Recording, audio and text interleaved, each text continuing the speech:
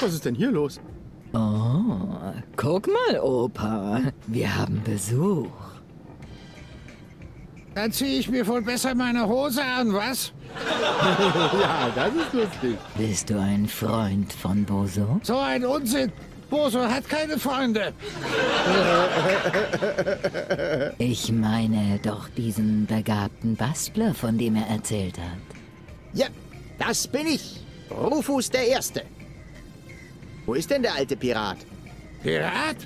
Diese Pfeife? Pfeife. Genial. Boso liegt oben in seinem Bett. Und heult wie ein kleines Mädchen. Apropos heulen. Kann mich vielleicht jemand hier rausheulen? Wo sind wir hier gerade gelandet? Ist das hier wie so eine Art Sitcom oder wie? Ich meine, ja, dieses äh, ähm, aufgemacht hier, ne? Sofa direkt halt vorne und alle stehen halt so, dass man sie auch genau angucken kann und so. Da hinten ist Boso, da ist Mama Boso, äh, Baby Boso, der Briefträger und Opa Boso. Okay, und wir haben hier ein Babyphone. Uh, ein Babyphone.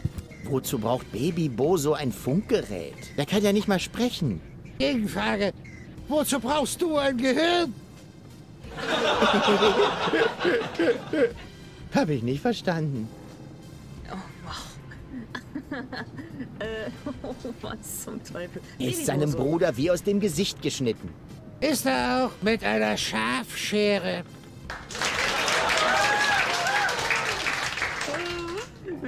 Haaren wahrscheinlich. Oh, wow. Atukaduku.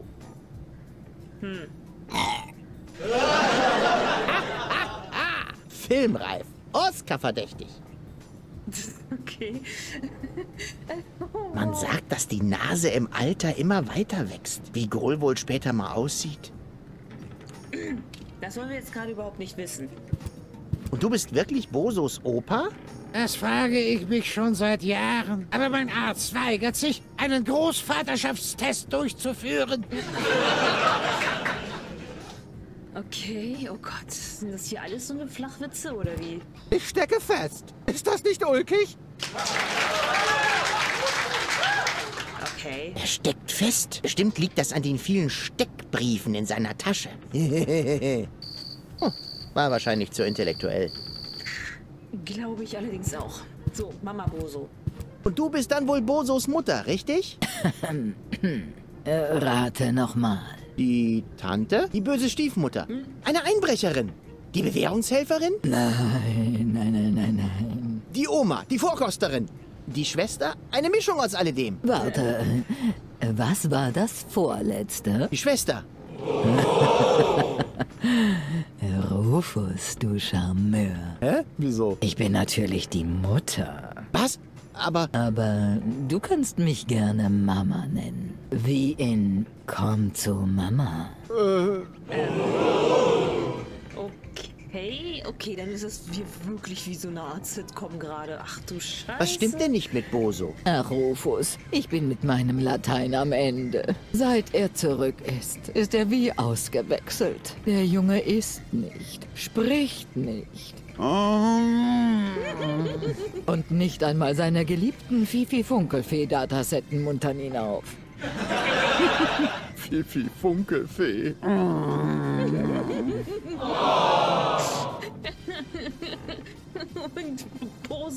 heult oben im Bett. Ich mache. Boso wieder gesund. Du bist so ein guter Junge. Ich wünschte, ich hätte einen Sohn wie dich.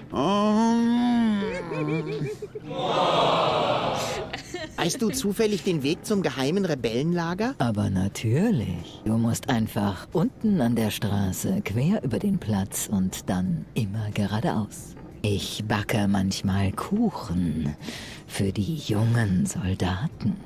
Und dann legt sie damit eine Spur vom Lagertor bis zu unserem Haus.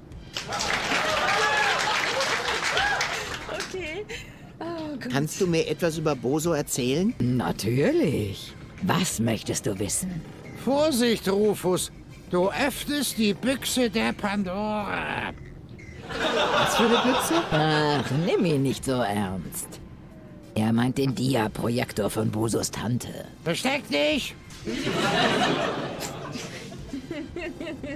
Ich wusste gar nicht, dass Boso aus Portafisco stammt. Hat er dir denn gar nichts erzählt?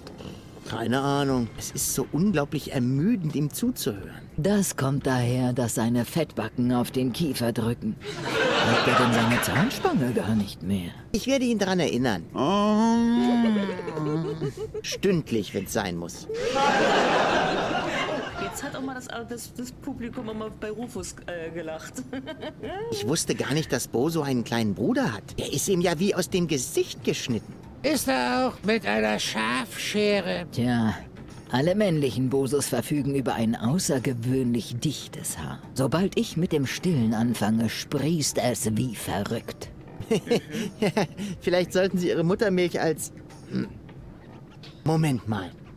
Was ist noch gleich die geheime Zutat deines Spezialschampons? Das ist ein Geheimnis. Warte mal. Boso hatte doch dieses Shampoo in seiner Tasche. Okay, alles klar. Jetzt wissen wir, warum der, ähm, der Guru so schnell Haare, dem so schnell Haare gewachsen worden sind. Alles klar. Ich wusste gar nicht, dass Boso so eine klasse Mutter hat. Aber Rufus, du Charmeur, du weißt, wie man eine einsame Frau aufmuntert.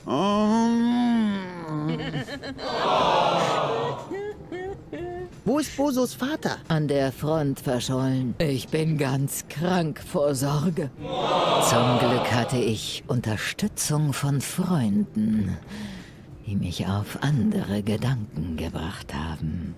Welche Freunde meinst du genau? Den Milchmann, den Klempner oder den Postboten? Tja, wie heißt es so schön? Gute Freunde lässt man nicht hängen. Okay, der war, der war wirklich flach. Wusstest du, dass Boso eine Freundin hat? Wirklich? Ja, ihr Name ist Bambina. Sie hat einen Waffenladen auf dem schwimmenden Schwarzmarkt. Hörst du, Opa? Boso hat eine kleine Freundin. Die Knalltüte? Das glaube ich erst, wenn ich es sehe. Tja, es ist wirklich kaum vorstellbar. Er war immer so schüchtern. Als ich ihm damals von den Bienen und den Blumen erzählt habe, ist er wochenlang nicht ohne Imkerhut aus dem Haus gegangen. Alles klar. Wie war Boso als Kind? Da gibt's doch bestimmt irgendwelche peinlichen Geschichten. Eigentlich nicht. Er war ein außerordentlich braves Kind. Er hat nie etwas kaputt gemacht. Seine Fifi-Funkelfee-Puppen selbst weggeräumt. Und selbst beim Ritterspielen wollte er immer die Prinzessin sein. Lass uns lieber über was anderes reden. Gerne. Immerhin habe ich ja nicht jeden Tag so einen fashion-jungen Mann zu Besuch. Zumindest nicht seit der Briefträger das Fenster verstopft. Ich dachte, Portafisco sei vom Organon besetzt. Das war es bis vor kurzem auch. Aber unter Leitung des neuen Generals hat der Widerstand die Stadt zurückerobert. Moment mal, ich höre immer General. Ach, du kennst den neuen General noch gar nicht? Ich wusste nicht mal, dass wir Ränge haben. Okay. Darf ich zum Essen bleiben? Aber natürlich, Rufus. Freunde von Boso sind hier immer willkommen. Besonders, wenn sie so knackig sind. Nur damit wir uns richtig verstehen. Ich esse mit und komme nicht als Fleischbeilage in den Salat, richtig? Wann gibt's denn Essen? Da musst du Opa fragen. Er hat versprochen zu kochen, wenn Boso mal Freunde ins Haus bringt. Du hast mir nicht zugehört. Ich habe gesagt, dass ich kochen werde, sobald Boso eine Freundin ins Haus bringt. Weil das nie passieren wird. Ha! Okay, dann müssen wir also Bambina dazu bringen, hierher zu kommen, damit der Opa kocht. dann können wir aber essen. Wir reden später weiter. Fühl dich wie zu Hause. Ich suche derweil schon mal Fotos von Bosos Ballettunterricht raus. Mein Gott. Okay. Äh, jetzt haben wir hier mit allen soweit schon mal gesprochen. Es fehlt eigentlich- ja eigentlich nur noch der Poki. In Fachkreisen ist es ja als das David Cage-Syndrom bekannt, dass Spieleentwickler gerne mal mit aller Macht versuchen, Präzedenzfälle zu schaffen. Und zwar habe ich hier versucht, die erste interaktive Sitcom zu machen. Aha. Das ist natürlich ein Heidenspaß, besonders weil ich mir nicht so viele Mühe bei den Gags geben brauchte, weil ich gedacht habe, egal wie müde das Wortspiel ist, im Nachhinein bringen wir einfach irgendwie ein bisschen Gelächter aus der Dose, dann läuft das schon. Aber tatsächlich erinnert einen so eine Situation immer wieder daran, wie jung eigentlich noch das Medium Computerspiel ist. So viele Sachen wurden noch nicht gemacht und da kommt halt jedes Jahr irgendwie ein neues, was weiß ich nicht, was, Need for Speed raus und so weiter. Und so viele Sachen wurden noch nicht gemacht. Wo sind denn die ganzen interaktiven Romanzen oder interaktiven Musicals? Müssen wir die wirklich alle selber machen? Möglicherweise ja, es sei denn, David Cage kommt uns zuvor. Der hat ja immerhin schon seine erste interaktive Live-Entbindung fünf Minuten nach einem interaktiven Selbstmordversuch äh, und einer äh, fünf Minuten nach einer interaktiven beinahe Vergewaltigung hinbekommen. Das muss man erstmal toppen, aber ich arbeite dran. Ich arbeite dran. Und hier die Sitcom. Ähm, okay, gut. Dann würde ich mal sagen, wir gehen mal nach oben zum Bo zu Boso. Da bist du ja. Ach du meine Komm, Güte. genug an der Matratze gehorcht. Aus aus den Federn. Sag mal, was ist denn mit dir los? Hau ab. Aber wir müssen doch ins Rebellenlager. Du musst mir helfen, die Welt zu retten. Oh, so. Oh, Backe. Ich glaube, der ist maximal deprimiert. Oh, so. Lass mich in Ruhe. Ach du meine Güte. Okay, ein Sparschwein? Lustige Idee. Ein Selbstporträt als Sparbüchse. Ich glaube nicht. Ja, ja, schon gut, alter Brummbär. Was ist ein Zettel? Was haben wir denn da? Eine ärztliche Überweisung zur Therapie. Na, sieh mal einer an. Ich wusste ja immer, dass er plemplem ist. Jetzt haben wir es schriftlich. Eine ärztliche Überweisung. Ah, okay. Und ja. Oh, so. Achso, ja, das sind ne, ach in du- Ruhe. Blablabla. Es sind nicht die Schüttelpocken, so viel steht fest. Aber was hat er dann? Ja, das äh, pff, müssten wir vielleicht mal herausfinden, indem wir äh, mit dem Psychologen sprechen. Scheiße. Boso beim Psychologen. Okay, dann würde ich mal sagen, gehen wir hier einmal weiter. Mal schauen, was wir hier jetzt so. Was ist denn das? Ein Tor? Da versucht wohl jemand zu verhindern, dass ich die Rebellen kontaktiere. Haha, aber da müssen die schon früher aufstehen. Verdammt, das gibt's doch gar nicht. Also kommen wir hier jetzt gerade überhaupt nicht weiter? Sie sieht selber aus wie eine große XXL-Teigtasche mit Hackcremefüllung. Mm, Köstlich. Alter Rufus. Eine Ta die Teigtaschenfrau, okay. Ähm. Ach du Scheiße. Okay, äh, wir kommen hier also anscheinend auch erstmal gar nicht so wirklich weiter. Da hinten sieht's aus, als wenn da ein paar Leute rumstehen. Wo geht's denn hier weiter? Ein, Sch- ein Seil? Was hat, hat die Frau gerade den Schmetterling gegessen? Oh, was ist hier los? Ähm, ja gut, ähm, wir kommen hier anscheinend auch irgendwie gar nicht so wirklich weiter. Dann wechseln wir mal auf den rechten Rufus. Gucken mal, wo... Hä? Was, was, was ist denn hier los? Sieh mal einer an. Ich bin direkt am Fuße der oberen Aufstiegsstation gelandet, dem Sitz der Organ- und dem Ankerplatz des letzten Hochboots nach Elysium. Also ab jetzt sollte ich vorsichtig sein. Also noch vorsichtiger als sonst. Hier wimmelt es ja geradezu von Organomen. Sie ziehen sich offenbar aus der Stadt zurück. Was haben die nur vor? Vielleicht kann ich sie belauschen. Los, beeilt euch! Da sind immer noch Kisten, die mit nach Elysium sollen.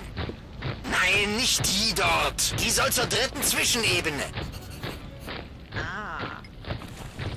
Also. Einen Weg in die obere Aufstiegsstation finden, einen Weg für den Argus, die Aufstiegscodes zu, äh, abzuluxen, Aufstiegscodes stehlen und dann hoch. Okay. Das ist also quasi der, die Mission des rechten Rufus. Ähm, gut. Äh, ein Goodie. Uhu, Horridor! Keiner da. Okay, hier, das ist der. Das ist der Organon am Marsch. Oh Der komplette Organon zieht sich in die Hauptverwaltung zurück. Es wird schwierig werden, sich unbemerkt dort hineinzuschleichen. Ja, das glaube ich wohl auch. Ähm, Organon-Aufsicht, äh, die Aufstiegsstation, ein Rohr.